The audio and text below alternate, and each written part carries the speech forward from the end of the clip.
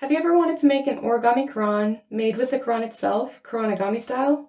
Today I'm going to show you how. In keeping with the real version, this one also has a sneaky snake named Allah inside, ready to pop out. There are so many verses in the Quran that prove Allah is a liar and deceiver and Islam is false, even by its own standards. To go over all of these verses with me, make sure to check out my first video on Islam. For the snake, I specifically showcase Surah 354, and they plan to deceive, and Allah planned to deceive, and Allah is the best of deceivers.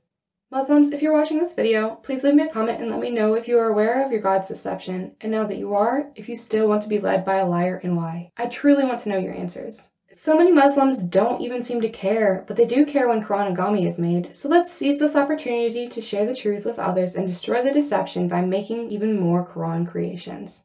The only supply you need is a page of the Quran, though ideally you'll also want something to measure with, something to cut with, paper-like tape, a red marker, and a black pen.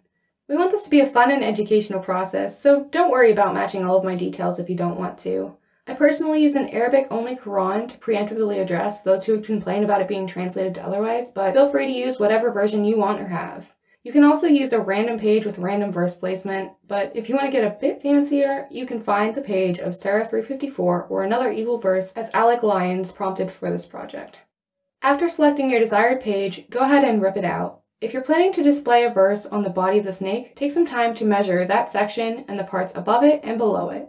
Once you cut the page into a square, you'll immediately fold it in half, and from that point, you'll want the verse to be displayed in the middle of the remaining section. Also, make sure it doesn't extend into the top fourth or the bottom fourth of the half square. So plan this out beforehand so everything lines up well down the line. Here you see me with my half square, but Quran pages are pretty thin, so as I recommended, start with a full square and then fold it in half so your Allah snake can pop out even more. Make sure to set aside the rest of the page for later use as well. After achieving our half square, we'll go ahead and fold the entire thing in half hot dog style, meaning it'll become longer and skinnier. For future reference, the other way to fold things in half is considered hamburger style, which would make the paper less long and less skinny than it previously was, but we'll save those types of folds for later. Now go ahead and open the paper back up to the half square, and if applicable, put the side with the selected verse facing down on the table. We're going to take the bottom edge of the half square and fold it up to that center crease line, and take the top edge and fold it down to meet up with that center line as well. Make sure as you do each fold, you're giving each line a nice strong crease by running your fingernail along the folded edges to flatten them down and make them crisp. This is important in enabling you to make future folds without the paper getting bunched up and it will also look neater too. Next, flip your paper back over and confirm the verse is still displayed how you intended and it's completely visible for reading. Once it is, you're set to go ahead and fold it hamburger style so that the two edges meet together at the top as they do for me, then create a crease there where the new bottom has formed. We're going to flip it upside down now so the new crease is at the top and then fold the bottom edge up to the top, flip it over, and then do the same for the other side. If you successfully followed what I meant by that, congratulations, you now have a very small square. Go ahead and open that square back up to the thin strip we created earlier where you see the verse displayed. The crease is displayed now to create four square sections side by side. Fold these squares back up together again, and let's start folding them each in half, back and forth accordion style to create the body of the snake. So fold the first square in half up to the first crease line, then fold the next square down behind it. Fold the next crease line up to the top, crease the bottom, and then fold the next square down behind it. Repeat this process until you have accordion folded the whole strip until the end. Give it a nice good crease and then open it back up to make sure it looks like mine does here. Gather it together again, hold one edge, and confirm it looks like a book with pages. Then open the entire thing back up to our original half square. Make sure the verse is right side up on the page but facing down towards the table.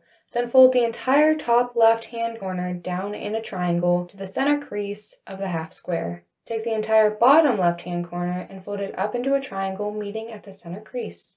If you guys have ever made paper airplanes, that part should be pretty reminiscent.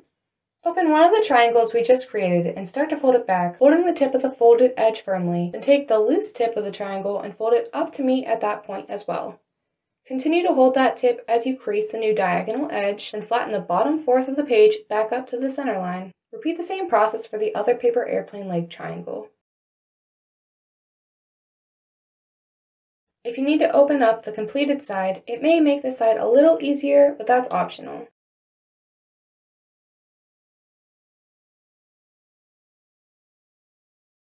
Hopefully I worded this well to minimize confusion, however, this is the most difficult section to do and explain, so feel free to pause and rewind as much as you want. If you're still on track, we should now have our long strip with a snake head at the end.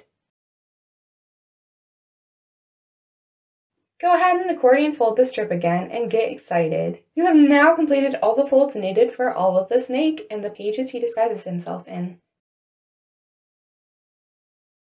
Now we just need to make a book cover and add the finishing touches. Go ahead and pull out whatever was left over from the Quran page we cut up earlier when you're ready to move on.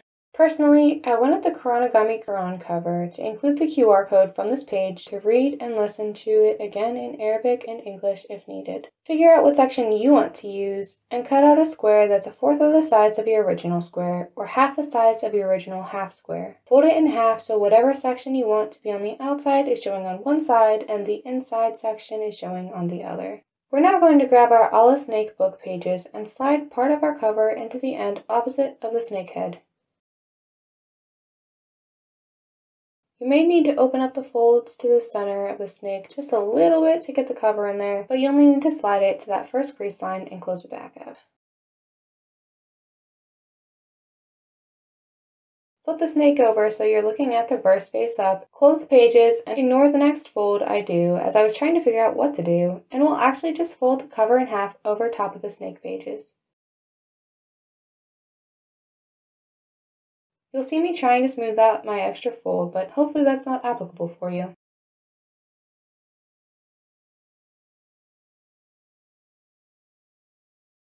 If your cover is folded in half across the pages, close the whole book, then flip it so the spine is on the right hand side and the opening is on the left hand side as Arabic books are. This is opposite to English books, but proper for the way Arabic is read.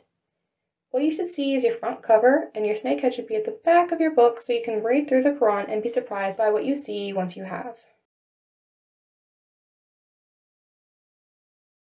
Make sure once again that everything is lined up how you like and you're ready for the final touches.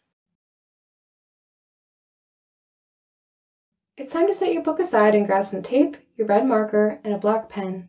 I'm personally using painter's tape because that's what I had on hand, but you could also use red duct tape, red washi tape, or any tape that's papery and can be recolored. You can also just use ribbon or another piece of the Quran if you want. Cut a thin long strip the size you want for your Quran's bookmark in Allah's tongue,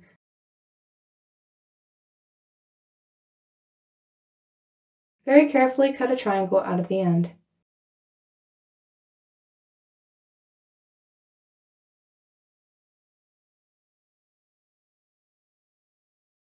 Pull off the triangle that you cut out, and you should have something that resembles this. If it isn't already red and you want it to be, color your bookmark in with your marker. Theoretically, a colored pencil, crayon, or paint could also work to color with. Next, draw two long thin red lines on your snake head to form slit eyes, then outline them in black pen or pencil for extra pop.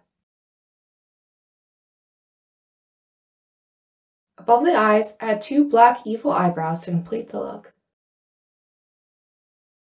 Once the face is done, stick or otherwise fasten the tape inside Allah's mouth and done!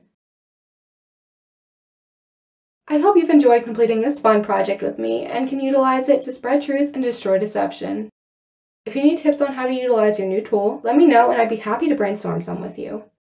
I'm also planning to put Quranigami designs on my merch store soon, so stay tuned for those releases.